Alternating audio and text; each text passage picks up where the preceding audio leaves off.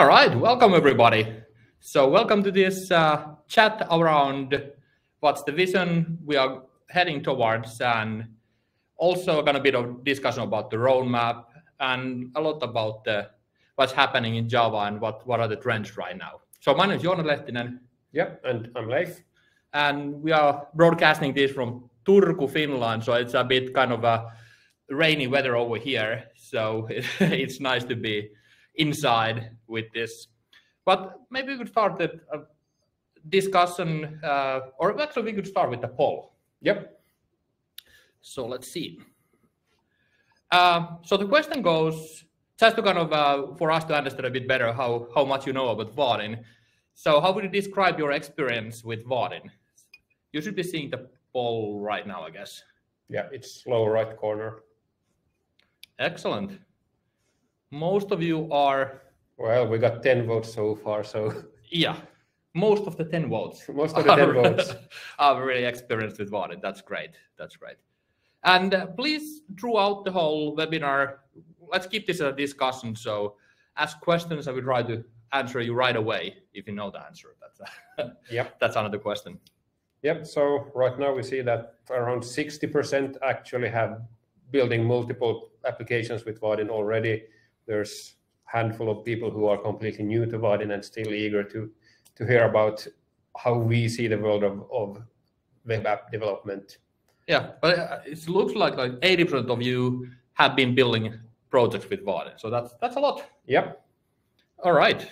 So let's jump forward. And we could actually start discussing the versions a bit, what we have, because we are having so many parallel versions. Yep. So in total, we got nine active version branches that we're maintaining. So it's kind of, it's the latest versions, then a couple of, of kind of, not the latest, but still re really new versions that are maintained still. And then also a long range of, of older versions that have extended maintenance and so on. And, and the point really is that we care about keeping things running for a long time, but at the same time, we're adding lots of new features always to the latest versions. So I guess it's about having the pain somewhere. So rather, either it's on your side where you have the kind of uh, worry about versions not working, or it's on our side for maintaining so many parallel versions. Yep. Yeah. So the engineering teams thinks that maintaining nine versions that's way too much, but at the same time, kind of it makes it easier also for us because we don't have to be so so kind of careful with with how we do things for the latest version. So what's going on right now? Uh, right now, uh, we are uh, working on a couple of different things in parallel. So for Flow, just whole bunch of smaller improvements based on basically what what all of you have have prioritized on GitHub. So every every time, like paper cuts in a way. Paper cuts, yeah. It's it's kind of it's it's a long long list of what, what the team has been been doing already. For Hilla, we're working on AutoGrid. So uh, no AutoCRUD, I mean. Close by. yeah, we, we just completed the AutoGrid and now it's AutoCRUD. So it, it's about making it. Should really... we have different naming for that? It's kind of confusing. Maybe. Yeah. Well, th that's the working name at least. Yeah. Uh, so that's about making it really easy to create CRUD views based on your Java types with with Hilla, so TypeScript uh, UI uh, there. So try it out. Uh, and give us feedback because we know that there are some gaps and it's, it's really hard to see the gaps in real world applications if you haven't been trying that out and given, given us feedback. Yep. Uh, for components, so this is something that is useful for both the Hilla users and the Flow users.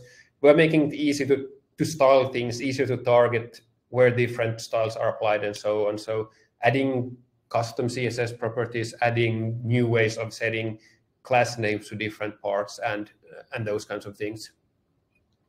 Finally, there's uh, the AppSec kit that we just recently launched for Vaadin 8 and Vaadin 24. We are now also backporting that to, to Vaadin 14 and Vaadin 23. All right, and we'll have that all out by December, right? Yep, middle of December is is is the next platform release train. So then all of these things and a whole bunch of smaller fixes and enhancements will be out. Yeah. So we want to kind of spend most of the time discussing about uh, where we might be going in the future rather than where we are right now. So let's take a bit kind of a longer view in this. And when taking a longer view, uh, I think it's kind of good to uh, maybe touch where we are coming from first, just briefly. So the very background for Vaadin was uh, starting from like 98 ish. Uh, when I was part of a project where we built, uh, I guess, first virtual hospital system in Europe, and that has nothing to do with Vaadin, but kind of set the scene on need for this kind of uh, componentization, not kind of building everything from scratch, but having reusable components for login and uh, content management and translations and menu and so forth. So that was the kind of a uh, background that we started at. And then we started a new company around this idea that maybe we could have these like reusable Lego blocks.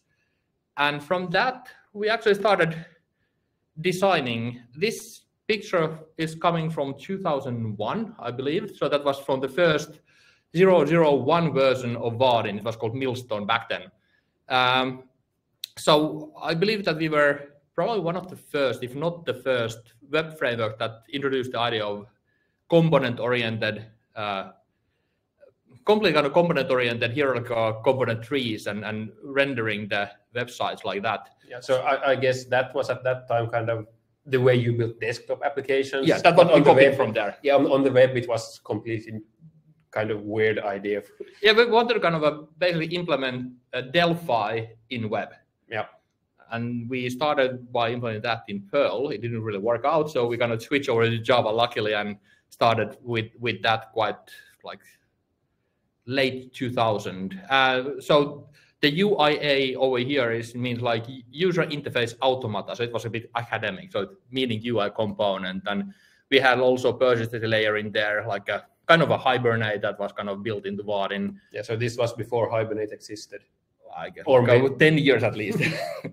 so, and, and on top of that, we had like rendering pipeline. We call them skins, but it's like theming in, in there. So we had kind of uh, all of this in a cluster environment somewhere around 2001. And then we re-implemented it from scratch uh, 2002. And then we implemented it again from scratch in 2002. And we ended up with uh, Vaadin 3.0.0. So it was called 3, 003. And then I thought that, hmm, nobody's going to be using 3, 003. So we kind of uh, turned the numbers around. It was a bit of a fake thing. Windows 3 was kind of the first working version back then. Anyways, then we started adding support for like different kind of uh, terminals, including mobile, and we released that as an open source in 2002 December. Uh, but I kind of think that the key thing that I wanted to say about this is that it was always around making it easy to develop business web apps. So kind of exactly the same thing that we are doing today. And uh, we also chose two really, really good ways of doing that. So first of building on top of Java platform, it has been stable since that. And also hiding the complexity, basically abstracting away from like divs and browser bugs and communication and so forth with uh, componentization. Yep. So uh, I guess uh, if you're wondering what the heck is this Vaadin Create, we are reusing the slides from an uh, customer conference we had last week in, in Frankfurt. So it was wonderful to have like, uh, I think they have over 100 or 90, no, 90 something, 90 something people all around the world from like US and Brazil and all the European countries flying in, in one, one place. And we had a two days, two wonderful days of uh, uh, presentations and roundtables and discussions. So we are just kind of reusing uh, slides from there we actually are arranging that next year as well. So if you're interested in joining, uh, keep that in mind. All right, trends. Uh, the question goes, is Java really stable? It's like used by 30% of the developers. So this is coming from Stack Overflow surveys. Um, and what I'm seeing is that I actually went back and took manually all the Stack Overflow surveys that were available. This is like seven years of data and it looks like the share of Java uh, developers out of all developers is decreasing. So it's kind of scary picture. Yeah, though. so the other side of the picture is that the number of developers, total de number of developers in the world is, is increasing. So we have 28 million-ish developers in the world. So if we do the multiplication, we end up with 9 million Java developers. And then I kind of scratch my head, and I have heard this number 9 million before. And lo and behold, uh, Java 1 advertised in 2012 to have 9 million Java developers. So it looks like it's actually quite stable. The uh, market share is decreasing, but the total number seems to be staying staying stable. Maybe more interestingly, the web landscape is, is changing a has been changing a lot. So nowadays, uh, React is extremely popular. 12 million developers using React. Angular maybe 6 million, and uh, the kind of uh, the most relevant for us is uh, Spring. And I mean, I don't know why why the Spring Boot would be like a web framework category, but nevertheless, that's kind of a uh, where, where it is uh, in the Stack Overflow survey, so it's 4 million developers. Uh, yeah, I mean, Spring Boot is used for building web application, even though you maybe not build the web part of it. Yeah, yeah, I know, I know. But yeah, it, it, it is what it is. So uh, React is popular and 4 million developers building on top of Spring Boot. That's actually quite a bit of people. Yeah. So um, uh, with that, uh, we have another poll that we would like to run because I was asking this question somewhere else. So how would you describe your no. oh sorry no not this one no wait where, where is our poll over there ah, as, there it is yeah. yeah. as a java developer how do you write web apps i mean this is probably kind of a biased audience um, so the option being mostly in server-side java or you would be writing mostly in react angular vue whatever front-end framework or you have a front-end developer in your team who is doing most of that, or you have a completely different team who does the front-end for you. So let's see what we get from there. Yeah, it's kind of a biased as I expected. yep. For some reason, people who go to Vaadin webinars also yeah. server-side Java for the UI. Uh, we just kind of wanted to see how much bias this is compared to compared to Spring audience. Uh, I, I, guess this is kind of a table stakes, 75%-ish of you are mostly writing UIs, mostly writing web apps in the server-side Java, so no surprise in, in there. Yep.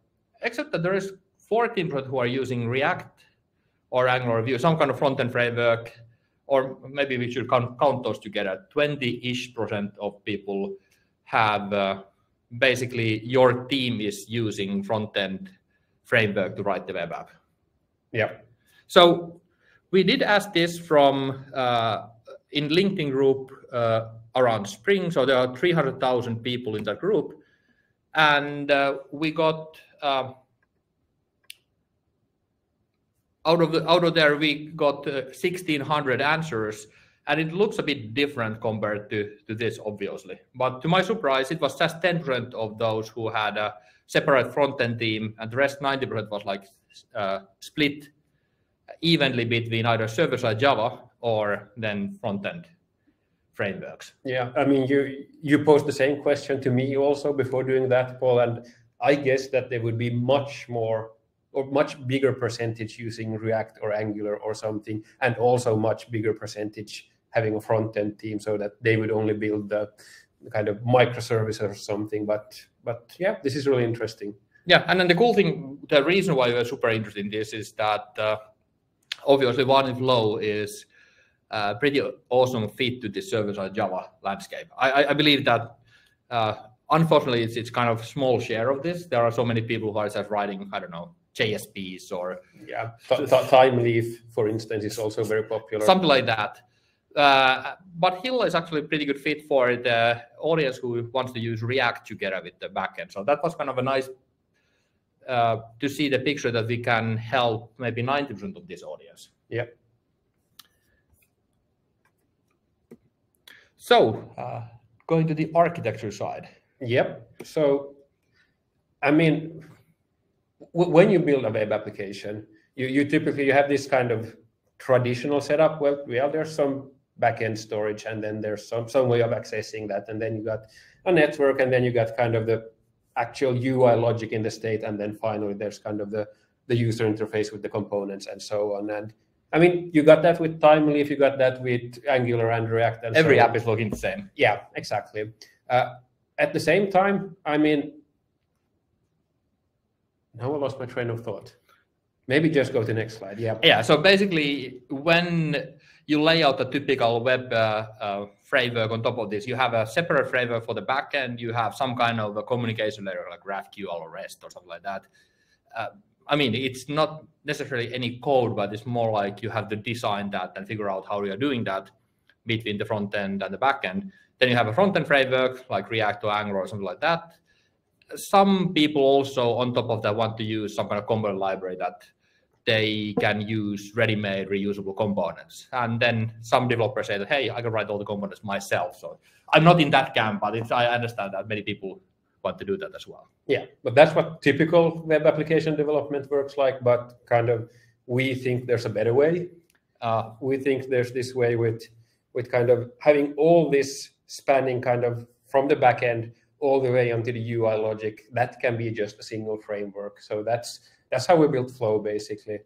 Yeah, always when kind of uh, discussing with customers, I kind of end up hearing that, hey, I'm a backend Java developer, and with Vaadin, I was able to expand my reads to frontend as well. So it's kind of a, they feel that they come from one direction, and then they are able to expand what they can do.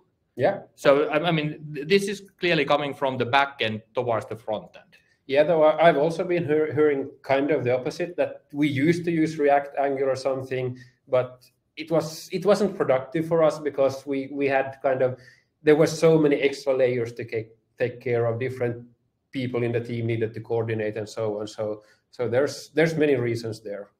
So i don't think that we need to jump into code. Basically what do you guys are coding with flow anyway so it's basically just you put all the code in one place so that's thing to remember in here so with that we introduce hilla and that kind of uh, allows you to uh, use front-end framework in a seamless fashion with the backend Java. So we kind of take care of all the network communications. It automatically creates a TypeScript-based uh, uh APIs for you on the client side. So you have to you don't have to figure that out. So if you have a just data model the server side Java, it generates that for you automatically on the client side. And with that, you can take care of the network layer. And if you like React, then you can use that on the client side. And you still have the same component set as, as uh, you have with Flow.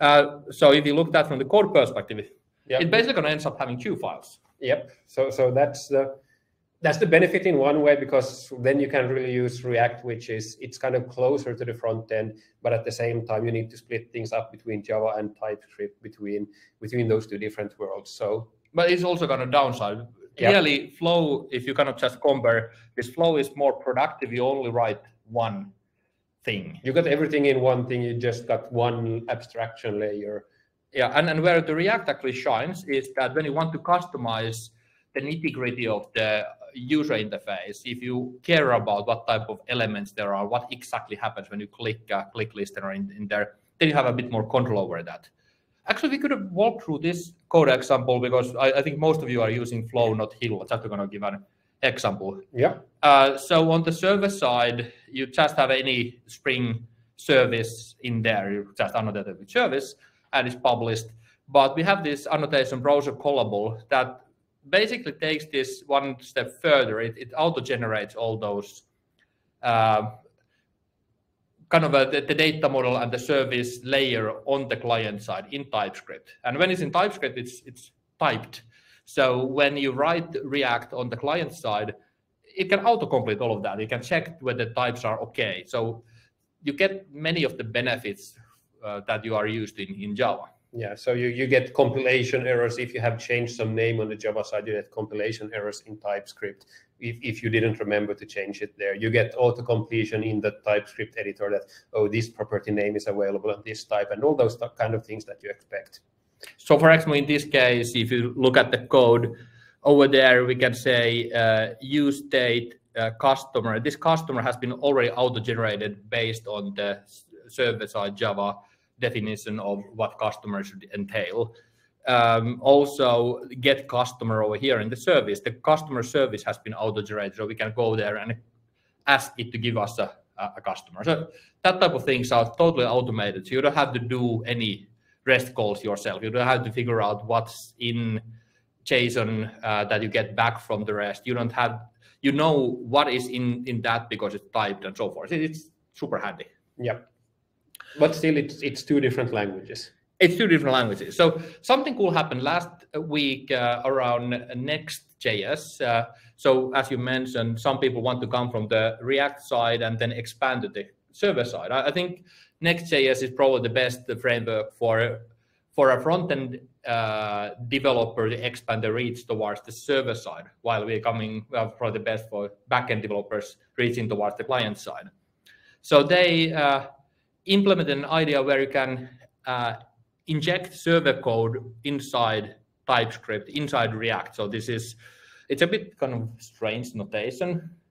Like you, you say use server here. So this is uh, front-end React code, and you can basically annotated with the string with the string over there say use server and this part this await part this actually runs on the server and automates the communication in there kind of the same idea that we have in Hilla but coming from different direction yeah i would say it's even the same idea that you have in flow because here we have a button that has a click listener yeah. that, that can kind of direct access the backend. So it's kind of reverse flow. It's reverse flow, definitely. Flows up. No, let's not go there. Yeah. Uh, all right. So, anyways, when you only put this all in in a map, uh, it's kind of a uh, becomes obvious that when you have this uh, bunch of different technologies approach, backend, REST, React, whatever components, basically different technologies in different layers that supports the team or organization where you have backend and the front end team separately. It's, it's pretty good for that. But at the same time, if you have only one team who owns the whole thing end to end, like the full stack team, it, it kind of introduces a lot of complexity in, in that for, for no reason. Yeah. So uh, if you have a full stack team, it might be better to actually use some full stack framework, like in this case, um, Next.js, if you are coming from the front-end side, or if you're coming from the Java side, either of Vaadin Flow or Vaadin Hilla, depending on whether you want to be more productive, Flow, or if you want to be uh, having more control over the user experience and maybe utilize React development low process as well in, in, the, in, your team. So then it would be Hilla. Uh. Actually, one kind of the, this is more like a philosophical thing about the full stack teams that I, I found powerful is that when you have a team who is really empowered to own something completely, so they own the solution, they own how they solve it, they own, they understand the problem, and they are kind of capable of, of uh, uh, solving that. They are so much faster compared to not owning that. And I believe that only full stack team can own the whole solution because if it's uh, like two different teams, front and the back end, they end up kind of throwing tickets over the wall, writing in Jira that, hey, could you have this kind of API that I could call? And then the other team says that, yeah, we are in the middle of the sprint. Let's see the next sprint. And it kind of slows everything down a lot. Yeah. Uh, one thing that people keep asking kind of is, but we, we got so, such a big application. We, we can't just have everyone in one team because that's too much communication overhead. But the trick there is to kind of slice things up by the business domain so different parts of the application owned by different full stack teams instead of having it so that that you got kind of slice it up by the by the technology because I mean then you also just can have kind of two or three teams maybe but no way of getting to 10 teams if yeah. you get a really big application. Hey, uh, regarding Hilla, we got a question from Rene. So are there any future plans for front-end part of the Hilla app being deployed independently of the back-end part, for example, on the CDN? Uh, yes, no, maybe.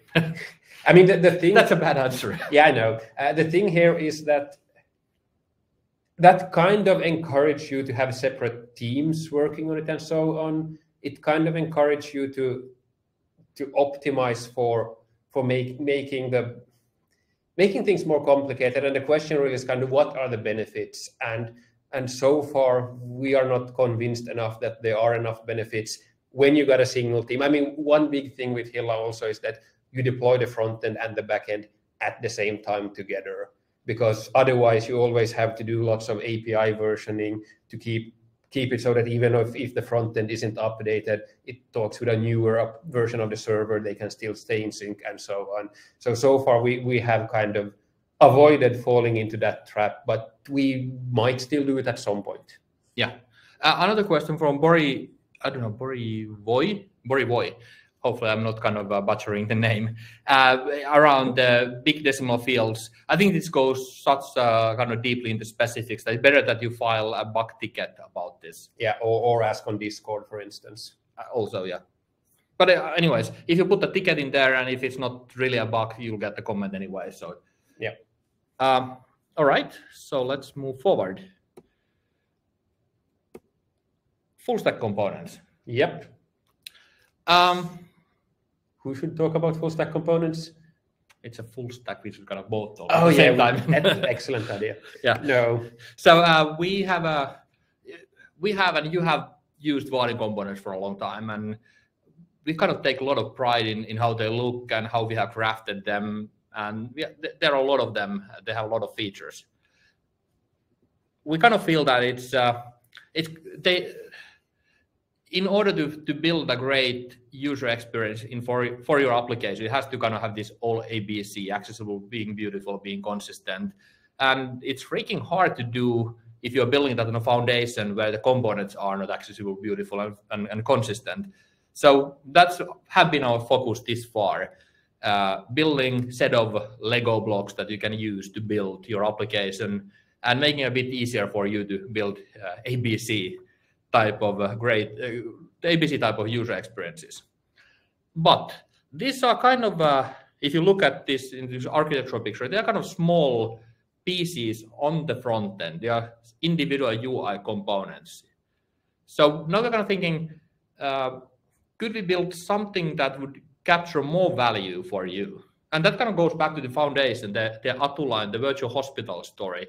So over there, our aspiration was not to build reusable date pickers and buttons and grids. It was more around could we build user management? Could we build internalization? Could we build like everything regarding security? Could we build this and that? And, and have this as a components that, that we could use to build the application out of, kind of a larger building blocks. Yeah. So So I'm about to say doubles, but uh, in one way, a flow component is already full stack in the sense that it's got a server side part and a client side part, but we're actually thinking of kind of even bigger, also kind of getting directly to the persistence. So maybe Yeah. you want to plug it in, use your own persistence, but still that the component itself basically covers a whole use case, not just one small building block of that use case.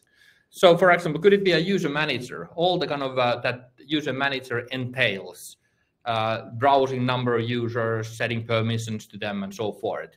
And if you could have many of these blocks, would it be how much faster could we make you if you can in your next application you could take these larger blocks and build all the kind of uh, boring parts that are not really kind of related to your application but need to be in there and, and just kind of build it out of a Duplo blocks.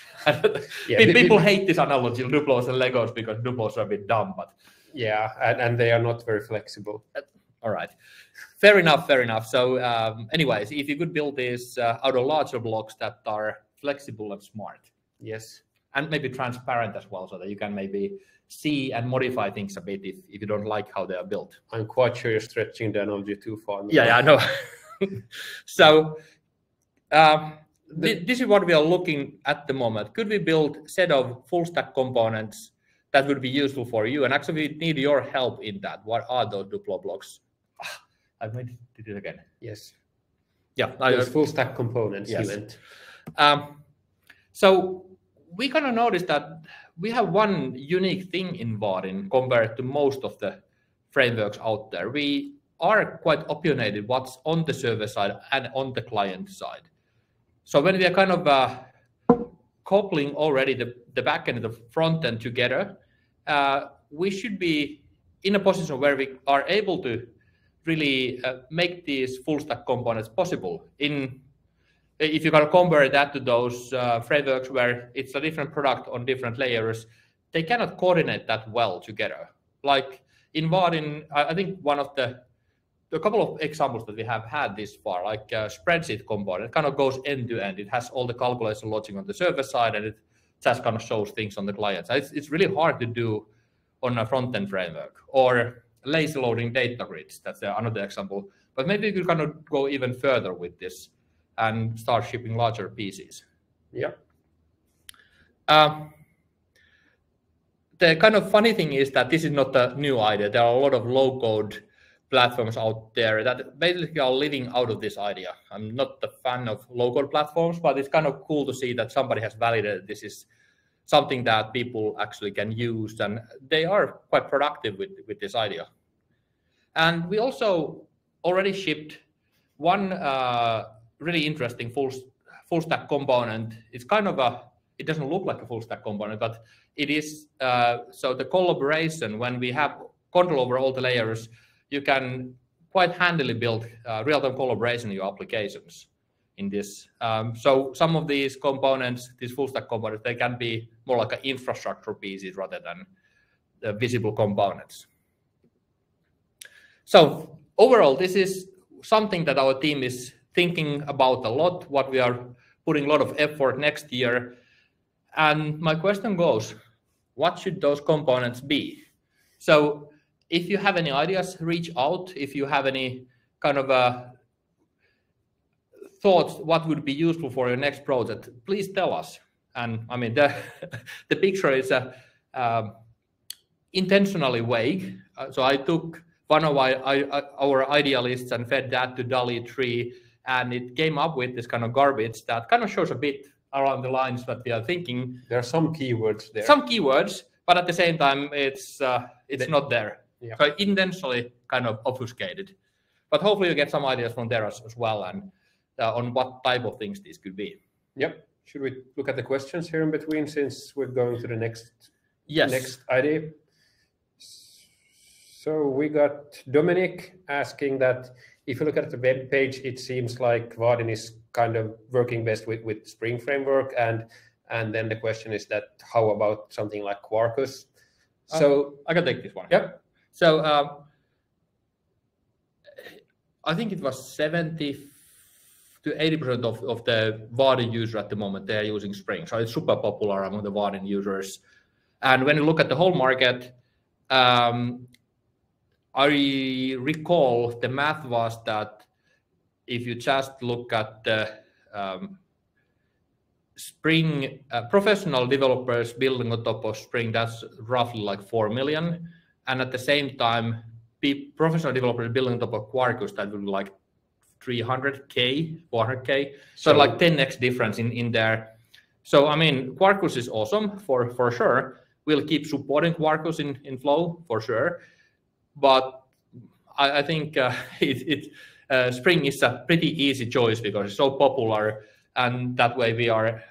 It's easy choice for us as well to invest more on on top of Spring. So where we can support both, great but sometimes uh, it makes sense uh, for us to choose, for example, in some full stack components to make a better support or support first for one. And in that case, that would be Spring.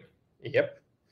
Then we got Guttorm commenting about the CDN that might make sense if you have an uh, kind of a enterprise applications built built by by multiple uh, war war files, uh, and then then kind of the duplicate Vaadin libraries could be loaded from one place in the CDN instead of kind mm-hmm. of each time for, for each individual application.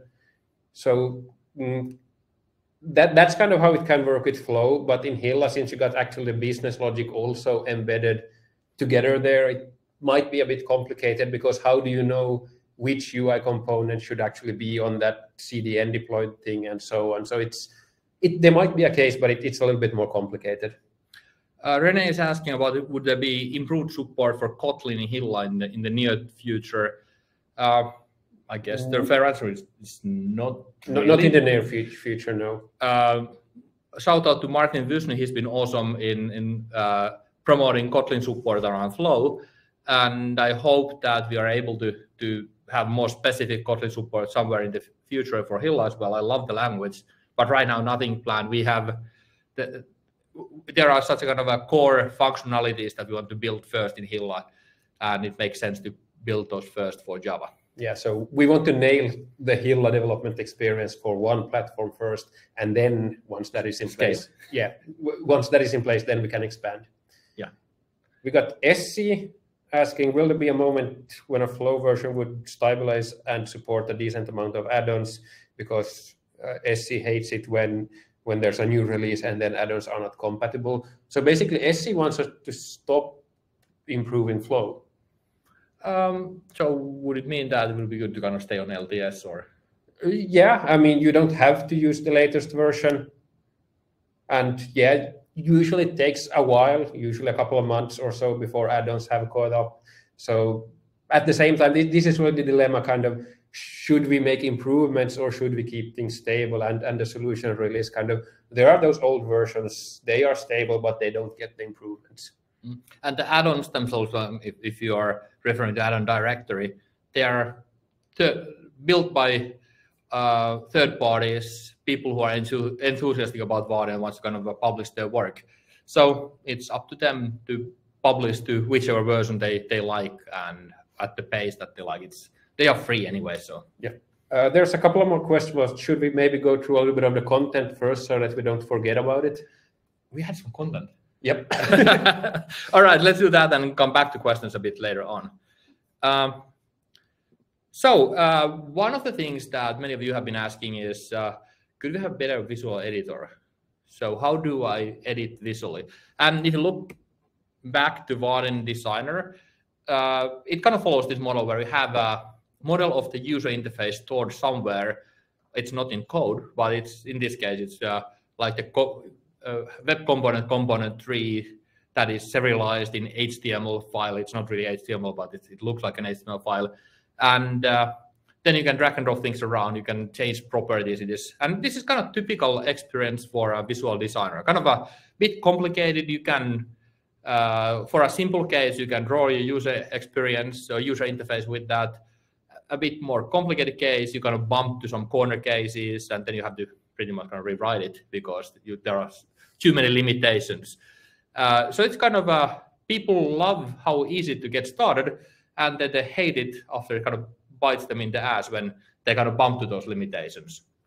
Um, Apple, I, I, think, has been the the pioneer and the best of everybody when it comes to uh, UI editors. They started with NeXTSTEP and had this uh, UI builder in there that they kind of got to Xcode and so forth.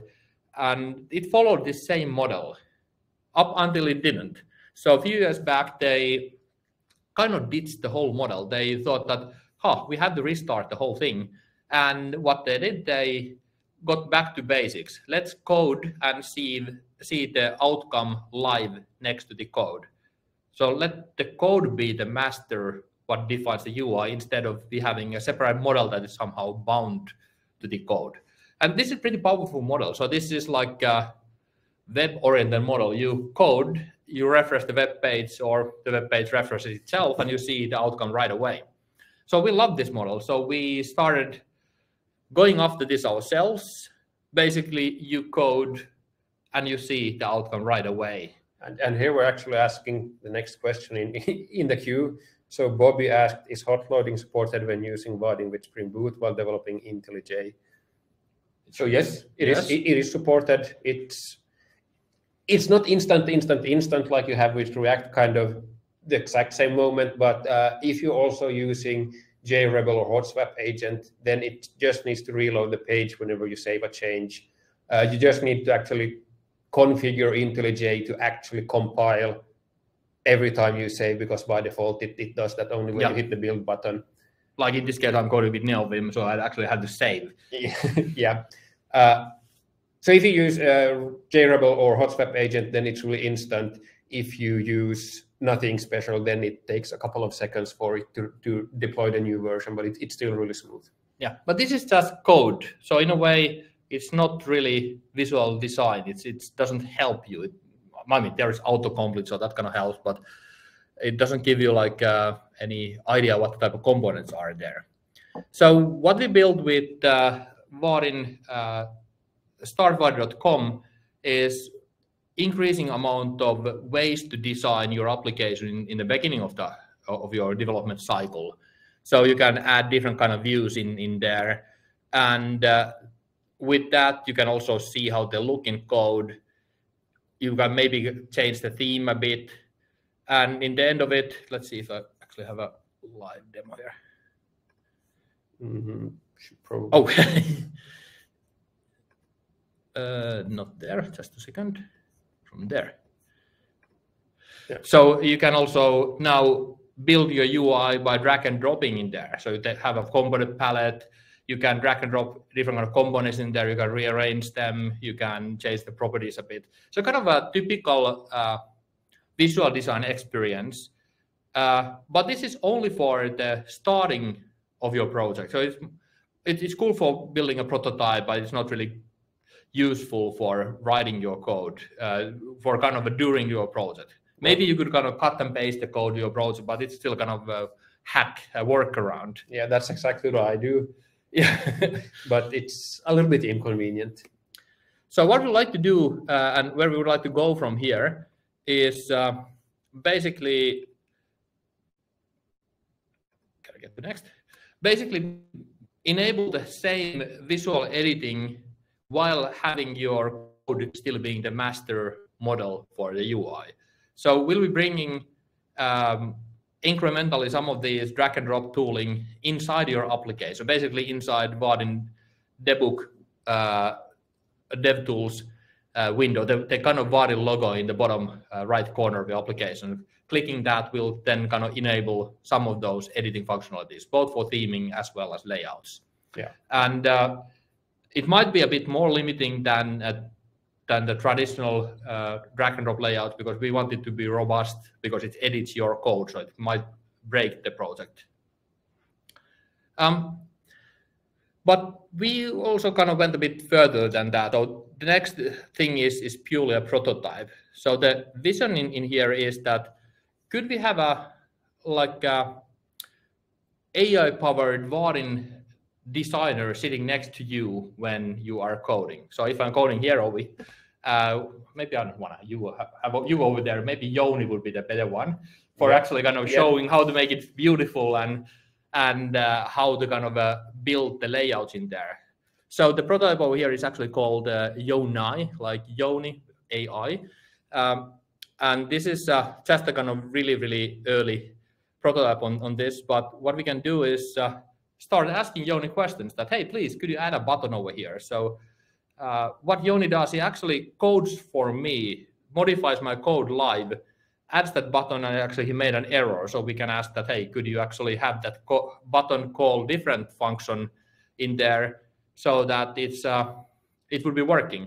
And because this is real live code, it actually works. I can use this application while Yoni is changing it uh, and you can start asking questions like, please rearrange these components, please bring in a template, could you maybe bind that to a data source? So you can do a lot of things. And we want to kind of bring this as well next to the layout editor so that they form a new type of UI editing experience where you can use the power of uh, large language models, but also you can draw with the mouse and see the, both of the result at the same time. Or even edit the code or even in the code. Yeah, I mean, because just Yonai on its own is quite limited. Just drag and drop on its own is quite limited. But then when you get all of the three together and kind of pick the one that is most appropriate for for each case, that's the really really power of it.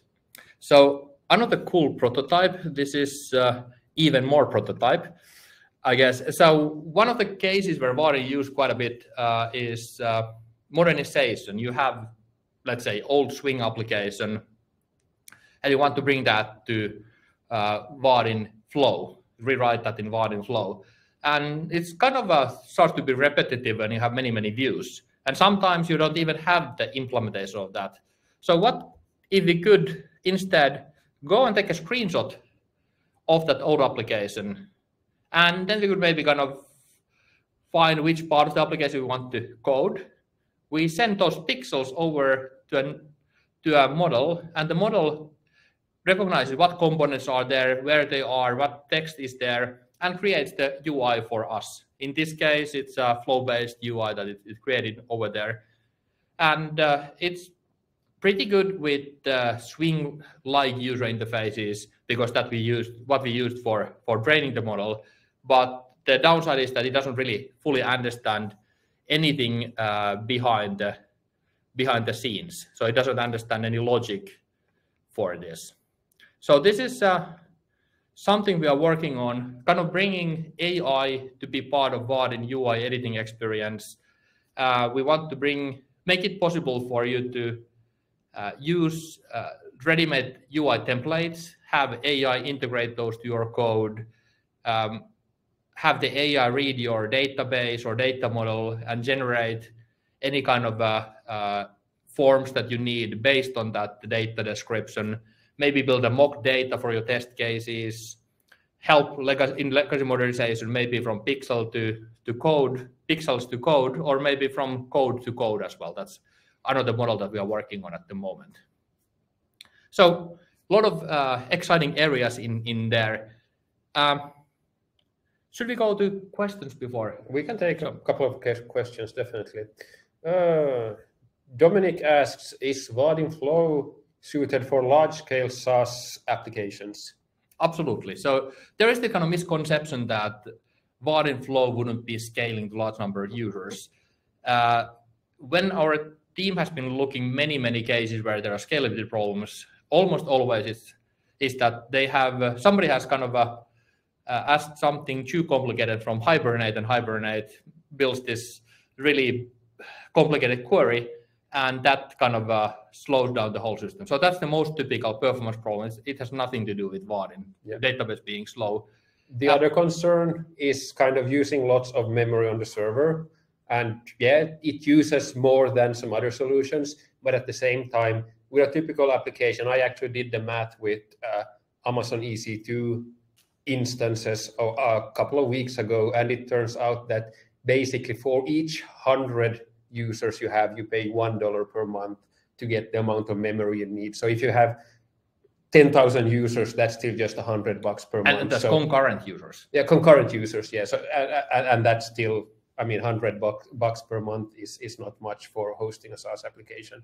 So if you have uh, 100,000 paying customers that they're using it one hour a day, roughly speaking, you end up paying like 100 bucks a month for hosting costs. Yeah. And obviously it scales up because you can rent as many servers as you want. So of course that's the hosting cost for the actual kind of application server. Then you have databases and so on also, but that's something enough. you have regardless. That, that that that you have always. And I mean hosting um, even like a fully front end solution that costs something as well. And then you might have like uh, uh, even more calls to the backend. So it, it's not that kind of black and white, uh, which one is cheaper to host, but I think the right answer is that it's the, the hosting of the UI layer is kind of irrelevant of the cost anyway. So it's the hosting costs are, are kind of accumulated somewhere else. Nowadays, mostly running ML models, that's a kind of a real cost in, in there.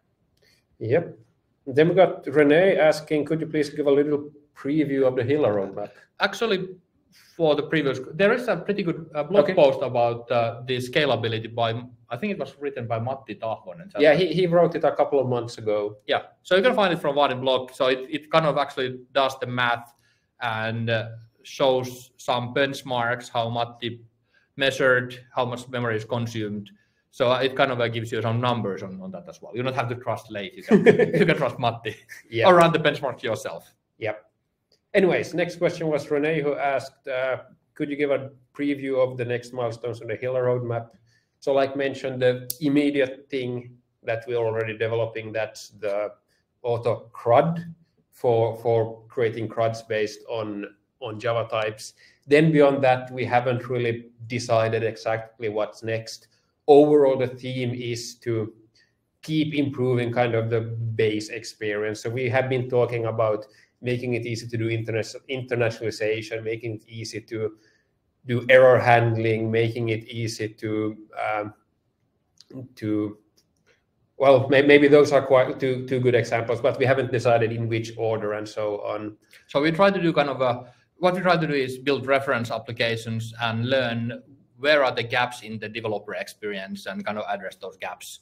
Yeah, a bit more agile way of rather than kind of knowing all the milestones upfront one kind of big theme that we have in the horizon is uh, that we want to bring Hilla and Flow closer to, to each other so that you would be able to have Hilla views in Flow application and, and vice versa. So that they, they could be like seamless um, parts of the of the same body platform. Yeah, and one more big theme also is uh, like, like we mentioned, these full stack components, they would also be kind of collaborative. Uh, and we, we also want to make it uh, really easy to, to make collaborative kind of basically sharing parts of the UI state between multiple users in Hilla. So, so that's that's maybe the third kind of big picture thing that we will be doing quite soon, we think. But but right now we're just focusing on the AutoCRUD for for the rest of this year. Yeah, but it's actually pretty powerful and when you kind of see multiple users using the same data behind the scenes and one person changing something on the UI and it changes immediately on the other person's UI as well without you actually having to code that. It's it's super cool. Yep. Then we got Olaf asking about uh, full stack components uh, and kind of how to integrate with the backend Spring services and so on uh, he actually suggests exactly what we are thinking. So there should be interfaces that you can implement to integrate with your backend.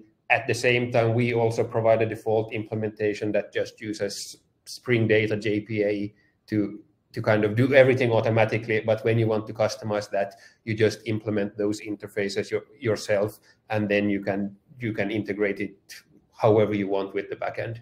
So the key is that whatever whatever you use for storing your data, the full stack component should be able to store the data in the same place, so it's not like a separate database or anything like that. Yeah, it's in it's in the applications database.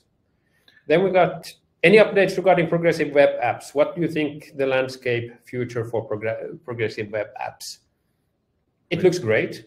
I mean, just this year, uh, iOS finally got web push support. Mm-hmm. That's something we've been waiting for.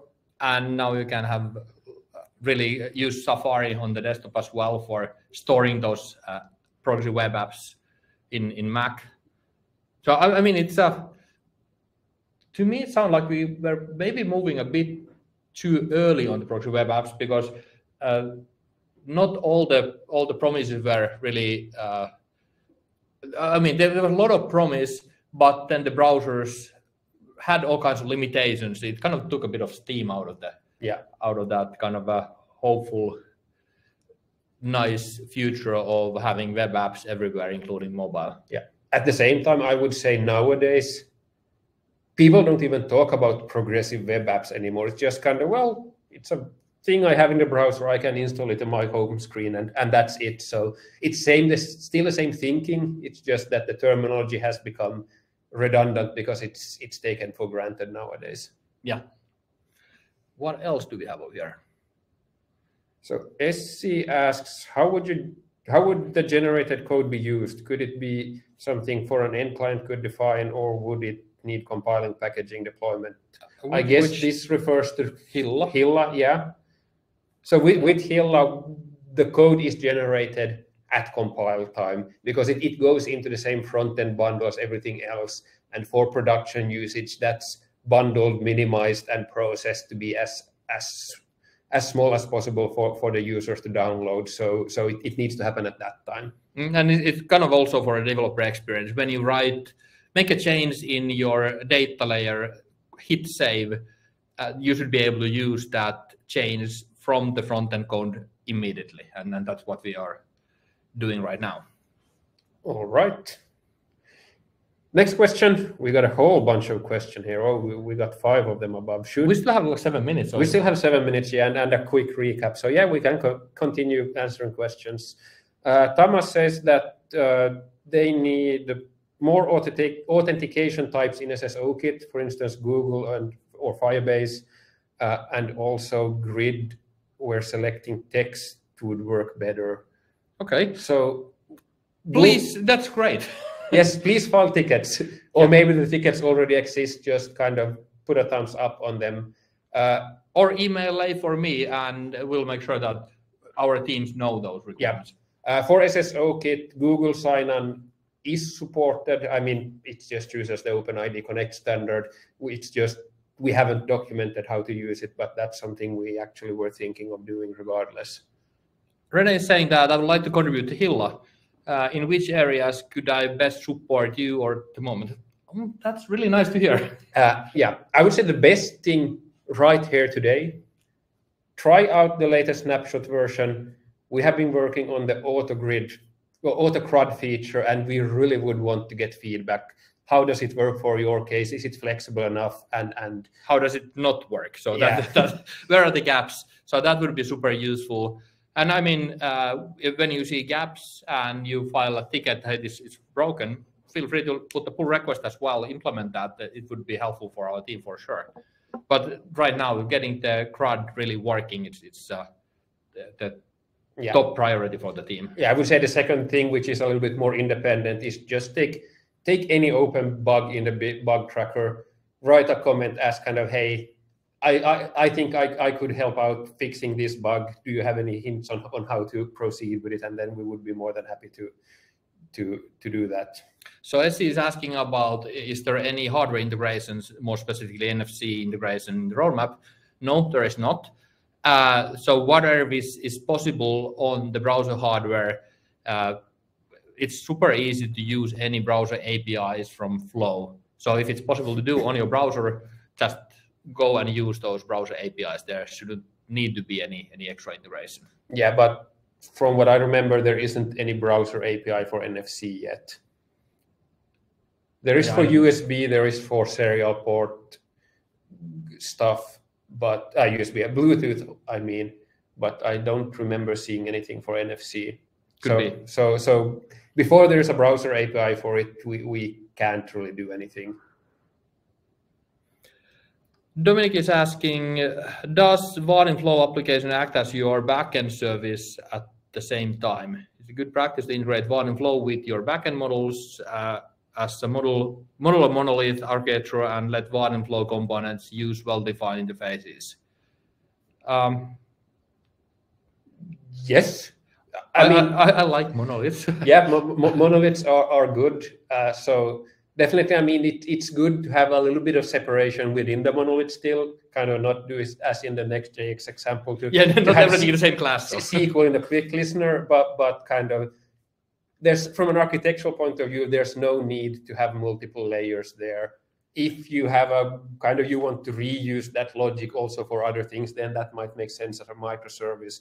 But otherwise, just keep it simple. I would say more strongly that if if it's one team and one application, it's kind of a really stupid idea to introduce microservice in the middle. So basically, kind of make this simple high performance Java call to become a over the network call and basically encoding and decoding from JSON in there and have all kinds of problems with that approach. So I mean, function calls are great. Yep. We got lots and lots of questions. It says that there's 11 questions about. We won't have. Maybe we're just going to wrap up this and then uh, where should we get, get back to with these questions Or should we just kind of wrap up and then we just kind of keep answering questions? People don't have to feel that they need to keep listening to get any more of the content we have. all right yeah yeah let's do that so Yep. um, so let's jump back to the presentation so kind of quick recap uh, we are working on on four areas uh, kind of bringing Hilla and, and flow together make a super productive uh, framework that is fully and solely for Java developers, whether they want to write everything in Java or if they want to want if they want to leverage React in there as, as well. Uh, second thing is that we are really embracing the notion that Vaadin is a full stack framework. And it's kind of unique in, in that that we are coupling together different layers and we want to have like the full uh, benefit out of that fact by making it uh, kind of leveraging that to making it easier for you to build applications.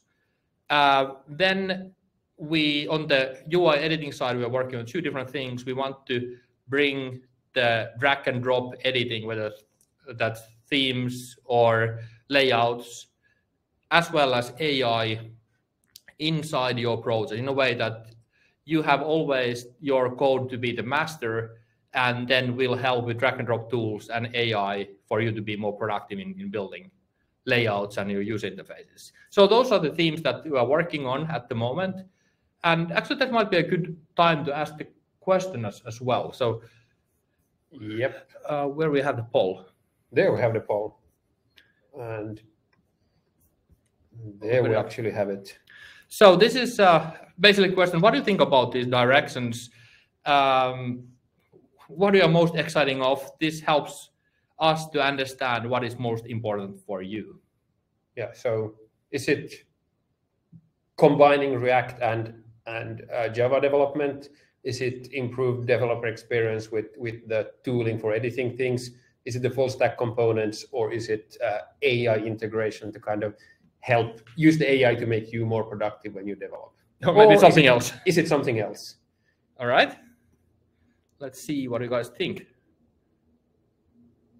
Ah, Interesting. yeah, people really like both the full stack components as well as improved uh, developer experience and tooling. Yep. Whereas then AI and mixing React and and and well, mixing in React is well, there's still some people also liking that. And then we got some other questions. Do we even see those here? Not yet. We No. will see this later on. Yeah, probably so. All right, that kind of, uh, I guess, almost concludes uh, what we had in, in mind. Uh, just want to kind of remind what we are all about uh, is, is making it easy to develop uh, business web apps in, in Java.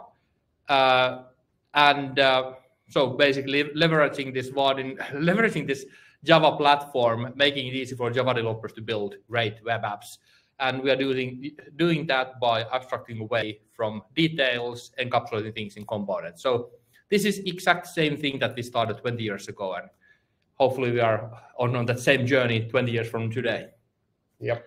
So We- it's a job that is never done because it can always be even easier. Yeah. um, all right. So uh, our contact info is over there. So feel free to send email to or to either of us or tweet. To, DMs are open as, as well. Or X. X, X things. I don't know. Uh, email maybe. and uh, we had some questions. Let's go and, and take a look of those. So thank you for the guys who uh, participated this far, but are not hanging out in there for a couple of more questions. So where were we? Where were we? Mm, that one. most of the customers requesting a web shop. It would be amazing if there would be template project providing a Spring Boot plus Vaadin application for basically building a web shop. Uh, is there any workaround that? Not at the moment. Uh, maybe some of those uh, areas could be interesting full stack components, but uh, frankly, we don't have that many customers building web shops on top of Vaadin it's more used for like a banking, insurance, healthcare, that type of sectors rather than front uh, facing web stores. Yep. Then uh, we got a question. Are you considering using ontologies to model specific business information systems since Vaadin is not uh, is most valuable for this purpose? I'm currently writing a paper about it, so I was wondering if you had something similar. In general, we try to stay out of any specific business domain because that's that's where you are the experts, and, and we are just we, we, would just be learning there. We, we really focus on kind of how do we combine web development and uh, or co- combine web development with, with server side Java, and, and that's our core expertise. Yeah, basically kind of providing tools for you to build on. Uh, one problem with AI writing code for you is that it will not know about the internal framework. For instance, it will not know if it should be use our own string util join. It will not know about the form uh, should be created with our data store form. That's totally correct. Uh, that's a limitation. So it's uh, uh, you should not expect that to write the whole application for you. It might be good for more limited cases. And what we expect it to be first limiting to quite specific use cases and over the time then expanding and expanding and expanding it while we learn what it can do and while the foundation models actually get better as well. Yep. Then we got a couple of thank you notes. Thank you, thank you, thank you. Someone was saying still excited about Hey, improving. hey, we should be reading all this. This is a great webinar. That I will hear. well, you can read them on your own All right. when you're feeling down. yeah. Oh, we got the sun out here now also. Welcome back, Joonas. Yeah, great to be back. Thank you. Yes. And we got excited for improved quality and feature parity with Vaadin 8. So yeah, that's that's also something we've been working on on a little bit. Any support to bundle native apps? Uh, no, not really. So no. I mean, if if you mean like uh, for mobile. Um, so some customers have been using Cordova, PhoneGap, those technologies, but it's not something that we have uh, kind of built-in support for at this moment. Yeah, one thing to note in there, somebody was asking about NFC support. So that's kind of one way to get around web limitations is to use Cordova and basically use that for uh, working with the NFC. Uh, it, it's a quite a hassle because then you have to actually distribute the actual app in the app stores. Yep. And actually, oh, final question. Uh, do you have links to read more about? Oh no, now there another question. uh, do you have uh, links to read more about Reform and the AI tool? No, these are just uh, internal prototypes for now, but instead of just kind of discussing about the future vision, I think it's kind of better to, to be able to show some of that. And hopefully we are able to show some more of that, but not kind of announcing any timelines today yet. Yeah. But team is working full steam at the moment on, on those topics. Yes, and then a clarification to the previous question. So kind of about creating native apps. Why not bundle them? Well, I mean, it, it's it's a trade-off. Distribution gets much more complicated since you need to go through the app store. The benefit is that you you can use those native features like NFC and so on. Uh, at the same time, it's basically it's one of those things that it's not that frequently requested, so we haven't prioritized it. Yeah, and I mean, frankly, we have been working with web for forever, and we haven't been working that much with the native applications. So uh, it's it's better to use tools for basically wrapping around the web, built by guys who are experts on, on the native side of things. So yeah, one is just a web app. Yeah, just a web app. There. Yeah, yeah. All right, thank you so much. It was so awesome to have so many of you joining the webinar. Let's uh, meet soon as well in the in the next webinar. Yep. See you. See you.